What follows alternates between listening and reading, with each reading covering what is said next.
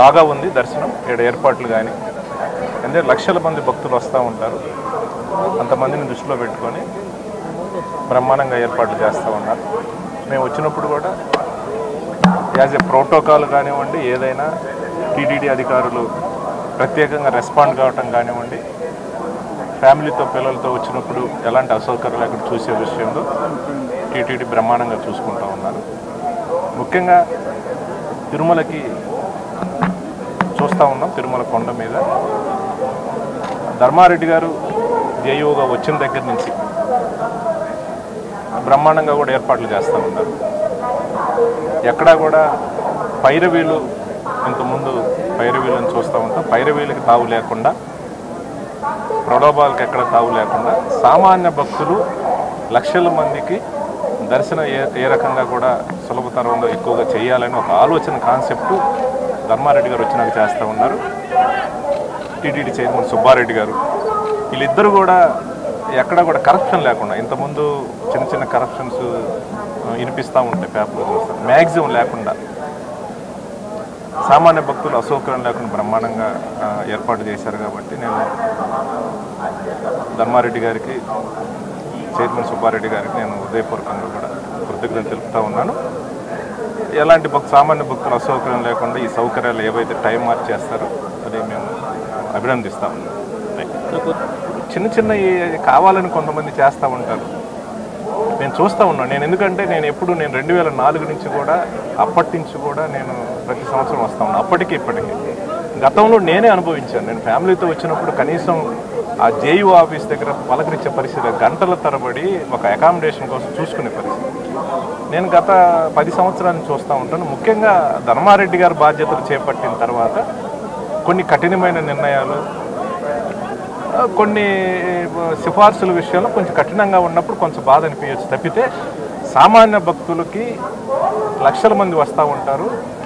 వాళ్ళకి అసౌకర్యం కలగకుండా వాళ్ళకి ఎలాంటి జాగ్రత్తలు తీసుకోలే విషయంలో ధర్మారెడ్డి గారు నెంబర్ వన్గా ఉన్నారు. హండ్రెడ్ పర్సెంట్ ఒక సీనియర్ ఎమ్మెల్యేగా నేను చెప్తా ఉన్నాను బ్రహ్మాండంగా చెప్తా ఉన్నాను ఎవరో కొంతమంది కొన్ని కొన్ని విషయాలు అసౌకర్యంగా అనిపించవచ్చు కానీ టోటల్గా సామాన్య భక్తులు చూసుకునే పరిస్థితి ఉంది. అలాగే ఎవరైతే విఐపీలను కూడా గౌరవప్రదంగా చూసుకునే విధంగా ప్రోటోకాల్ కానివ్వండి రెస్పాండ్ కానివ్వండి నేను ఒక ధర్మారెడ్డి గారుతో పాటు టీటీడీ అధికారులు ఎవరుంటో అందరినీ కూడా నేను అభినందిస్తా ఉన్నాను నేను నేను నేను చాలాసార్లు చూస్తూ ఉన్నాను కదా. పల్నాడు రాజ ఎలా ఉండబోతుంది? పల్నాడు రాజకీయం ఎప్పుడైనా హీట్గానే ఉంటుంది. పల్నాడులో పల్నాడుకి తగ్గట్టునే రాజకీయం చేస్తూ ఉంటాం మేము.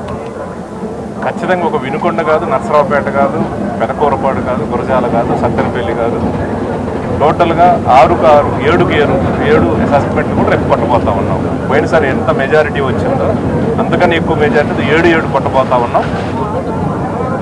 ఎవరెన్ని కుయుక్తులు చేసినా ఎందుకంటే ఒకటైతే చెప్పగలరు తెలుగుదేశానికి సంబంధించి వాళ్ళ నాయకులు కానీ చంద్రబాబు నాయుడు కానీ లోకేష్ కానీ వీళ్ళకి మ్యానిపులేట్ చేయటం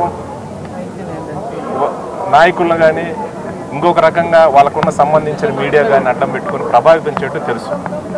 ఎందుకంటే రెండు వేల పద్నాలుగు వాళ్ళ అధికారంలో ఉన్నప్పుడు మా పార్టీకి సంబంధించి ఇరవై మూడు ఎమ్మెల్యే ఇరవై మూడు మంది ఎమ్మెల్యేలని వాళ్ళని మ్యానిపులేట్ చేసి ప్రభావం చేసి వాళ్ళందరినీ కూడా ఏదో ఆశ చూపించి లోపరుచుకొని ఉన్నాయి లేని కల్పిత చెప్పి తీసుకునే పరిస్థితి. వాళ్ళ భవిష్యత్తు రాజకీయ భవిష్యత్తు అంతా కూడా ప్రశ్నార్థకం అయిపోయింది. ఈరోజు ప్రజలు చూస్తూ ఉన్నారు.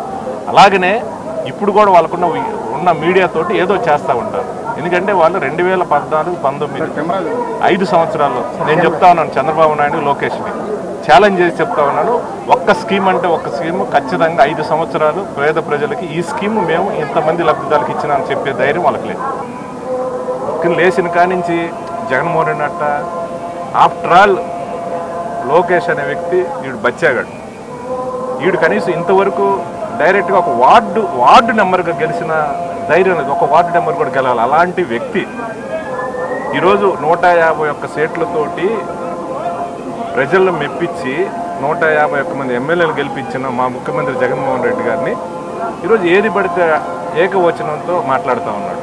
ఎస్ అవన్నీ గుర్తుపెట్టుకుంటుంటే అంటే నేను అనేది ఇది అవినాష్ రెడ్డి కానీ లేకపోతే వాళ్ళ నాన్న భాస్కర్ రెడ్డి కానీ కాకపోతే వివేకానంద రెడ్డి గారి హత్య జరగడం చాలా బాధాకరమైన విషయం అది ఎవరు ఖండించాల్సిన పరిస్థితి. కాకపోతే ఇది ఎందుకు రాజకీయం చేస్తారని కూడా అర్థం కావట్లేదు. ఎస్ హత్య జరిగింది దాన్ని ఇన్వెస్టిగేషన్ చేస్తూ ఉన్నారు. దానికి సిబిఐ ఇన్వెస్టిగేషన్ చేస్తుంది. చేసినప్పుడు దాన్ని మొత్తం ఇన్వెస్టిగేషన్ చేసి దాన్ని ఎవరు దోషి దోషులుంటే వాళ్ళని శిక్షిస్తారు ఎవరు అడ్డం పెట్టేది కాదు. దానికి ప్రతిరోజు కూడా తద్వారా ఏదో లబ్ధి కో- చేకూరాలని రాజకీయం చేస్తూ ఉన్నారు. ఎందుకంటే ఎక్కడో చోట అక్కడ ఉన్న పరిస్థితులను బట్టి రాయలసీమలో ఎన్ని ఎన్ని హత్యలు జరగలేదు ఎన్ని రాజకీయ హత్యలు జరగలేదు. కాకపోతే ప్రముఖంగా ఉండే వ్యక్తి రాజశేఖర రెడ్డి గారి కుటుంబానికి సంబంధించిన వ్యక్తి కాబట్టి సరే దాన్ని లోతుగా కూడా ఇన్వెస్టిగేషన్ చేసి ఎవరైనా దోషులు ఎవరన్నా కూడా శిక్షించాలి చేయాల్సిందే. కానీ సిబిఐ ఇన్వెస్టిగేషన్ చేస్తుంది కదా. సిబిఐ వాళ్ళు ఏమి చేయకపోయినా ముందే లీక్ చేస్తారు ముందే పేపర్లు అది ఇదని లేనిపోయిన కట్టుకథలతోటి ఈ- డైవర్ట్ చేయటే రాజకీయం చేస్తూ ఉన్నారు. మొత్తం దానివల్ల దాని వైపు చూపించడానికి అనేసి చేస్తూ ఉన్నారు మొత్తం కూడా. అది అది కరెక్ట్ పరిస్థితి కాదు. ఎవరైనా ఎవరు తప్పు చేసినా దాంట్లో ఎవరు దోషులు అయితే ఉంటారో వాళ్ళని ఎవరైనా శిక్షిస్తారు.